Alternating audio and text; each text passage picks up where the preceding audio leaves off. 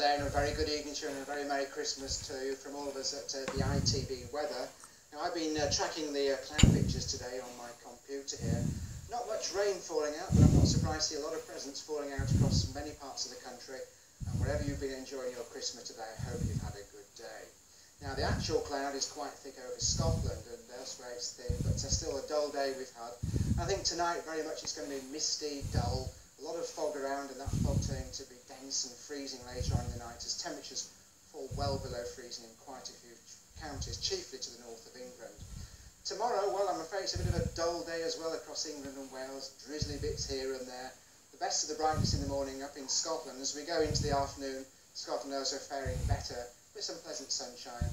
But I think uh, basically it will be dry everywhere, but I'm afraid England and Wales stay cloudy.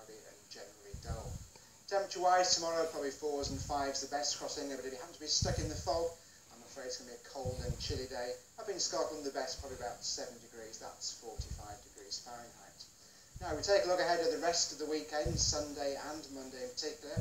On Sunday, I think the best of the brightness once again over Scotland for much of the day, but as we go through the day, we'll probably find a bit of brightness spreading into the eastern side of England, but although I think we will find most places cloudy, it will be generally dry.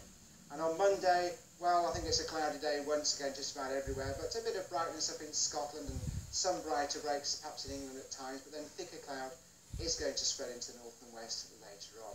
So there we are, a bit of a change in store, fairly settled weather, but rather gloomy, I'm afraid. Whatever you're doing, do enjoy the rest of your Christmas. Good night.